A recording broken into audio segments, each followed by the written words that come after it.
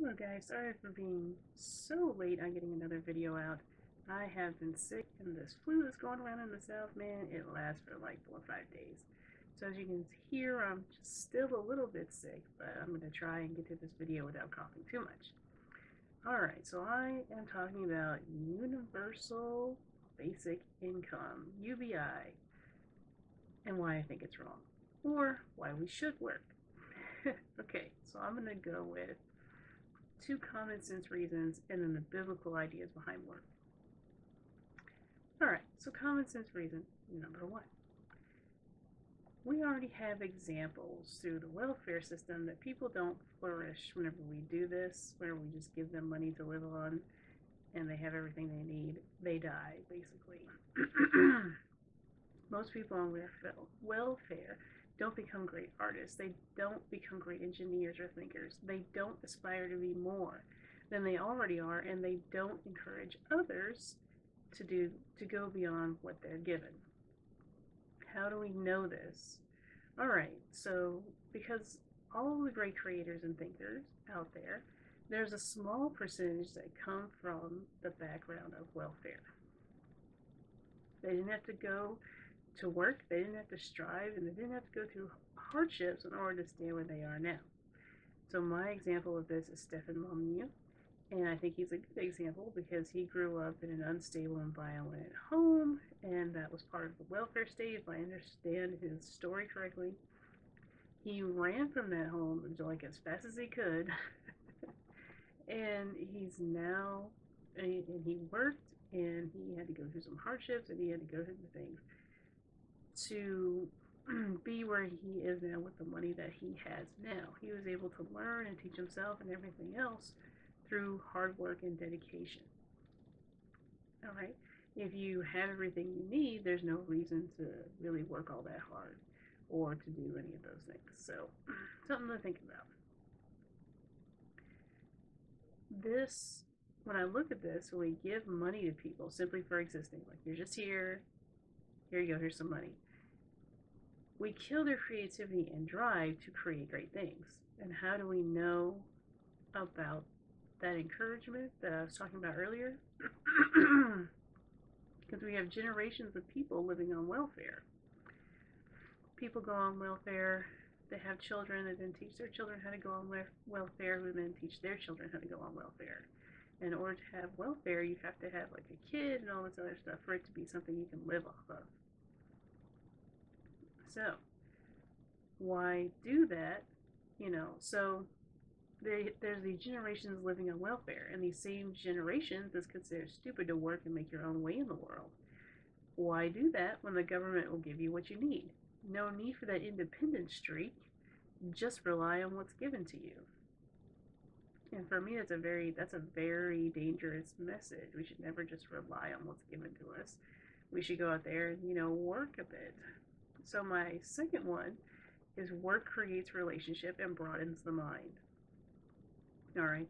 How many times have you made a friend, a boyfriend, or a husband, or girlfriend, etc., and of someone you used to work with? How many times, or how many times have you heard that story? I know a good many more people now, and all different types of people than I ever would had I not worked. All right, work can take you around the world, whether it's through the right field or through the money you make through the field you're in. Work teaches you how to cooperate with a group towards a shared goal, which is not something that comes naturally to most of us. Working different places has broadened my mind in many ways. Uh, one way is I used to work for an HVAC company, and now I understand, you know, air conditioning, which is important here in the South. Uh, working at fast food teaches you how to clean properly, how to prepare food safely, how to have good hygiene. You know, and a lot of people who come in there don't already know this stuff. I don't know how many times I've had to teach somebody how to sweep a floor, how to mop a floor, how to wash dishes. Okay, so not everyone is being taught these things. How to wash your hands correctly, um, and how to handle food safely so that people don't get sick. So just working a basic fast food job can teach you a lot about hygiene, cleanliness, your food, and these are all basic things that people need to know anyway. But if you didn't work, you didn't go there, and people weren't teaching you that, how would you have learned that? Do you see? If somebody wasn't coming by to your house to teach you these things, you would stay in that same mindset, in that same basically unclean because you don't know how to do it.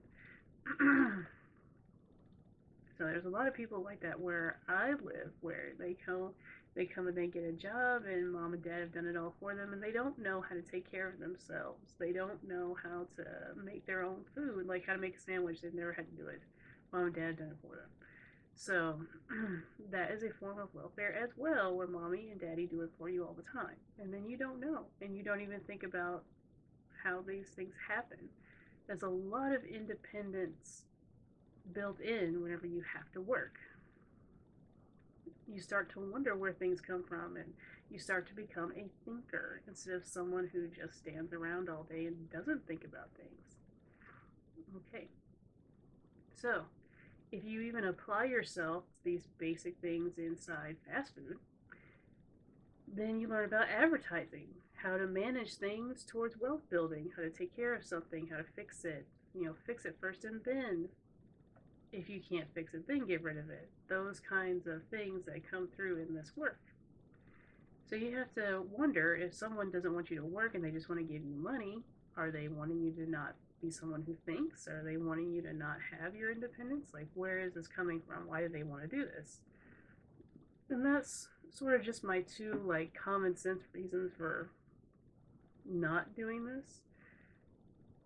So I'm going to go into the Christian perspective now from a Christian perspective, I can't be for this. Definitely not at all either. The Bible is pretty clear in almost every book. It talks about how good work is. It assigns jobs, people, and all this other stuff. So work is something that never ends, it never stops. There's no such thing as retirement and all this because you're always either working to better your family, yourself, or you're always working in the field of putting out the gospel. Okay? So you're always working. Um, you're never in a situation where you're retired and you're just able to sit around and do nothing. That's not a thing for God. Genesis 2:15 says, "The Lord God took the man and put him in the garden of Eden to work it and care for it." So from the beginning, before there was women, before anything, a guy, God put Adam into the garden and said, Here, care for him, name the animals, do all this stuff. He had a job, he had work. We're built for this. You start to take away the guidelines or the the structure that God placed in us. Having children, working, being pair bonded by man and woman, caring for the elderly, caring for the orphan, all these things, you start to take that away, and people, if you notice, begin to lose their humanity. They begin to lose this thing where you're another human being and I'm going to take care of you, make sure you're okay because you're another human being. there's a reason these structures are put into place so that we don't harm each other, so that we develop into, you know, standard good people. Otherwise, we won't. Without it, we will not. And I know people would argue that with me, but I've lived long enough to see it. We just won't do it. So, that Furby right there is a very good example of why we should work. Because God made us to work. When you take work away, people, especially dudes, become, they get depressed, they become less of what they are, etc. So, working is good, all right? I'm going to continue on with the rest of my thing here. So, from the beginning, we manage the creation that God places here. And when I read another verse, uh, it's a set of verses, Deuteronomy 24 14 through 15, talks about not holding someone's wages because it becomes sin to you. The only way I can think that that would possibly happen would be if you start to become this greedy bastard number one right? You become the guy who's like, well, I'll pay you, I'll pay you tomorrow, I'll pay you tomorrow, I'll pay you tomorrow, but doesn't want to give up his money. And so you've lied, you've led people on, you're making slaves out of people, which, regardless of what anyone tells you, is not okay according to the Bible. so these things, you become this greedy bastard number one who, you know, if that's against God as well. Greed is against God. You pay someone what they're worth. You pay someone what you told them that you would pay. Okay. And in this way, work develops you from the outside in. That's basically how it has to happen because usually we will not develop ourselves from the inside out. That's just not what we do. So, the second thing in the Bible, what I see, the Bible, in the Bible, work creates and bolsters relationships, right? 1 Corinthians 9 8 through 10 talks again about paying guys who worked with you because they helped you and they expect to share in the rewards of the labor. And this in turn creates this working relationship, which in turn creates a community. People working together to feed themselves and their families.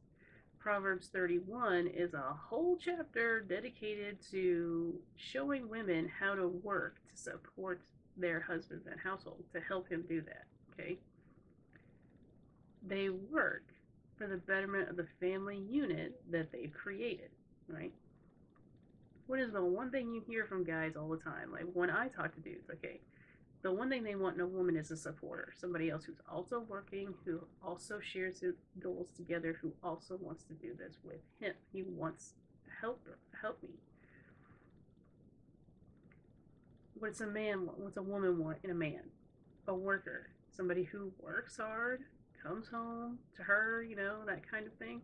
When I was looking for a husband, he had to be older than me. He had to have he had to have a job that he had stayed at for longer than five years because I wanted stability. And he had to have all of these things, and about half of them had to do with his work ethic.